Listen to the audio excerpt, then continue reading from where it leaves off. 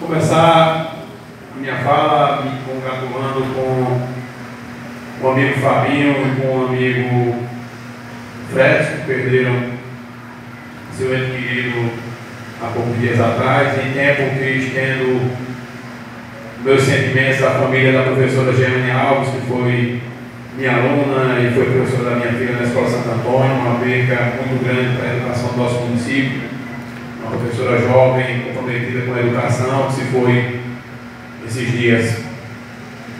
Quero começar falando sobre o problema gravíssimo do nosso município, que eu venho destacando aqui há muito tempo. Não é só questão de estética, é questão de saúde pública, que é a questão das baronesas aqui no nosso município. O município começou a tirar uma parte das baronesas lá na orla do lado direito, ali próximo aos quiosques, para esses dias. E do lado esquerdo, basicamente, já quase não tem mais água. É, as baronesas estão tomando conta de tudo, e aí não é uma questão de estética, foi colocado aqui várias vezes, é, a quantidade de nitrogênio que elas colocam na água e as consequências disso para a saúde pública, aumento de câncer de mama das mulheres, posteriormente é, aumento de câncer de próstata dos homens. Então, faz necessário que tenha um cuidado mais específico com, com essa questão, que se decrete calamidade pública do município, que se busque recursos para sanar esse problema, assim como foi sanado lá em Paulo Afonso, é, a população agradece.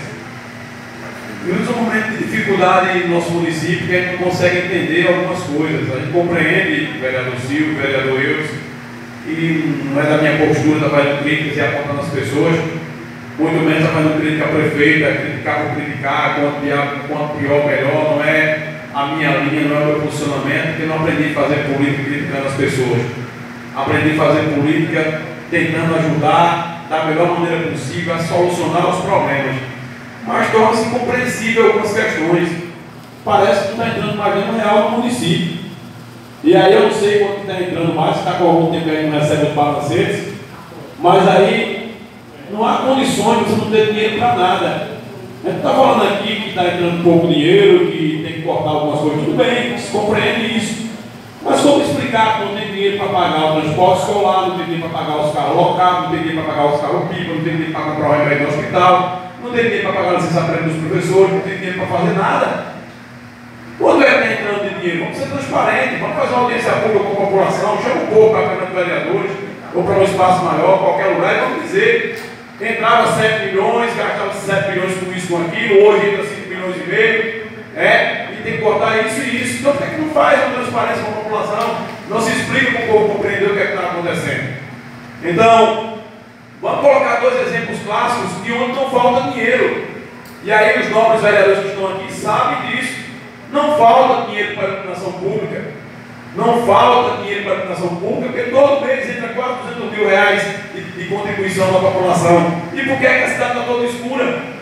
Passa mês, passa mês, audiência pública, Ministério Público Estadual, Ministério Público Federal, e por que, que não se coloca lâmpada se tem dinheiro? Quando não tem dinheiro, tudo bem, vamos explicar, não tem dinheiro, não se faz. E por que a iluminação pública é precária se tem dinheiro? Vamos colocar um outro exemplo? Vamos colocar exemplo do dinheiro do Fundeb, que não falta dinheiro. Isso eu digo e posso provar que o dinheiro do Fundeb não falta, vem aumentando ano a ano. Então, por que, que na área que o dinheiro é o dinheiro do Fundeb, as coisas não precárias não funcionam? Vamos colocar aqui na conta do governo do estado, o transporte, do, transporte escolar que está atrasado quatro meses, que está parado, os motoristas parados porque não aguentam mais, tem que pagar combustível, os postos de combustível, tem que pagar pneu, tem que pagar o motorista, quem não é o próprio motorista. E aí, por que o governo do estado dá algo em torno de 70%, 60%, mais ou menos, é o do estado que manda? Aí como é que pode atrasar quatro meses?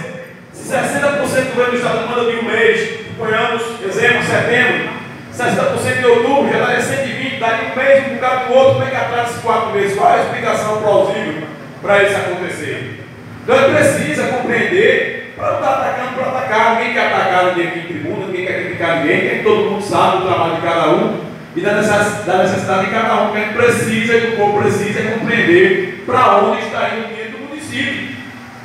O que é que está sendo gasto o dinheiro do município? O pouco dinheiro que está no município está sendo gasto com o quê? Está sendo gasto com onde? O dinheiro que é da saúde tem que ser gasto com a saúde. O dinheiro que é da educação tem que ser gasto com a educação. E para onde está indo esse recurso? A gente precisa compreender essas questões, tem que ser claro para a população, o povo precisa ter esse esclarecimento. Vou voltar a dizer. É, Evaldo, aqui, quando a gente coloca essas coisas, realmente, é, vocês falam que já estava o índice potencial lá em cima. Mas já agora, próximo das eleições, quantas pessoas não foi contratadas dentro de Petrolândia? Pessoal, como motorista de ônibus mesmo. Quantas pessoas foi contratadas? Agora é isso que, que, revolta a gente, é isso. Quando chega perto, quando é em janeiro, bota aquelas pessoas para fora e pronto. E a explicação que dá a isso? É porque era na época da eleição, realmente só? Então é isso que eu quero colocar. Não estou colocando aqui minha. É, dizer quanto mais muito pior. Eu não quero também isso, não. Eu quero que minha, a cidade que a gente vive se desenvolva. Se desenvolva. Eu tenho um, um, um índice muito bom para melhor, agora para pior, as coisas, a gente só vê cada dia piorando as coisas, aí não dá. Muito obrigado. Então, nós visitando as escolas na área rural, algumas escolas do município no centro, no centro da cidade, algumas escolas na área rural. É um local onde não falta dinheiro, que é o dinheiro do Fundeb. Na área rural, as escolas cheias de morcego. Os moceiros e bicho nas escolas. A, a do recurso para combater os morcegos é o recurso do Fundeb. As escolas, todas as escolas que andei, quase todas elas, três ventiladores, quando tem um funcionando, um, dois, a maioria é um quebrado ou dois quebrados funcionando um. Um calor insuportável para os alunos, o recurso é recurso do Fundeb, é recurso do FNDE, não falta recurso. Então por que, que não falta recurso? As coisas não estão funcionando direito. É, um local que está faltando recurso, tem sua explicação, a justificativa, não aceito, não concordo, mas tudo bem. Mas e onde tem um recurso, por que não está funcionando? Qual é a explicação para isso? É, estive em Recife, alguns um dias atrás, a pedido dos amigos, visitamos a casa de apoio, uma das casas de apoio lá do Recife. A maior reclamação da população em relação à forma como ainda das pessoas na casa de apoio. É, precisa ver essa questão. A questão do DFD é desumano. As fotos que mandaram para a gente aqui a condição do DFD, com o vidro quebrado, colocado um pedaço de madeira no lugar do vidro. As pessoas doentes, a gente está falando aqui um passeio, você vai para Paulo Afonso, ou para Arco Verde, ou para Serra Talhada, você vai passear, você está saudável, para sair de qualquer tipo de transporte, está na calça de rua, você chegar meio machucado, está saudável, você se recuperar. A gente está falando de quem faz hemodiálise. A gente está falando de uma pessoa que vai para uma mesa, fica numa, sentado numa cadeira numa, com, com um apoio, tirando o seu sangue para ser filtrado durante 3, 4, 5, 6 horas, que fica totalmente debilitado, é alguém que está ali quase que morto. É, é desumano a forma como se trata o paciente aqui em Petrolândia. E aí vai dizer, não tem recurso, qual é a diferença de transportar um paciente num ônibus velho caindo nos pedaços e você colocar um paciente num ônibus bom? O combustível é o mesmo, o motorista município já tem. Visando essa casa, senhor presidente, o orçamento impositivo.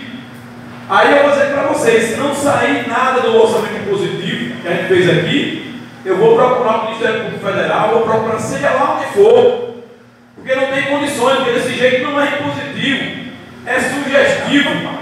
É, fazendo impositivo, vai ter que impor a emenda parlamentar dos vereadores. Nós sentamos com a população, ouvimos a população e pegamos as principais necessidades da população, que eram as ambulâncias para localidades onde não tem, que tinha e não tem, o TFD e a Praça da Quadra 4. Então, se não dá para fazer tudo, pelo menos alguma coisa tem que ser feita, senhor presidente. Que aí vai procurar o local adequado para se fazer essa imposição dos vereadores. É... Uma coisa que me deixou mais nos últimos dias, não vou dizer triste, eu não tenho que da palavra se aplica para essas questões, mas uma coisa que me deixou meio que assustado. A gente está vivendo num momento de tanta dificuldade sem ter quase nada. É, o município sofrendo com a fartura das coisas que foi colocada aqui, fartura de todo tipo. Né? A gente já discutiu que há muito tempo pagamento escolar, material escolar, pagamento de visita de professor. Tivemos fazer greve para ter um pequeno aumento de professor. É, pagamento de todos os serviços terceirizados no nosso município, atrasado 3, 4 meses. Aí que a gente já sabe, inclusive, o transporte escolar parado. E aí chega nessa casa a reformulação do código de postura. É, foi apresentado hoje para os vereadores votarem. Onde tem serviço no nosso município, vai aumentar quase 5 mil por cento, penalizando a população com aumentos exorbitantes. É, que eu espero que essa casa de sempre convoque a audiência pública, a gente sempre nós vamos, com argumentações, para que isso não aconteça. Não é possível que essa casa aprove o que está para ser aprovado aí. O menor aumento que vai ter nas questões do código de postura no município é de 2 mil por cento. Isso não existe, o município precisa ter um serviço para oferecer, e você ainda penalizar a população com o aumento desse porte. Então eu peço aos nobres partes dessa casa aqui, ao líder do governo, ao time da prefeita, que sempre com a prefeita reveja um centavo para a população, para fazer um negócio que a população consiga pagar, porque que está aqui é impagável. É penalizar demais o cidadão vai construir uma, um pequeno quarto na sua casa. É penalizar demais alguém para colocar um forno na sua casa, ou alguém que caiu um forno na sua casa para ter que fazer uma reforma. É muita penalização de imposto no município que não está ofertando um serviço de boa qualidade. É, no mais, uma boa noite a todos os senhores e as senhoras e até a próxima, se Deus quiser.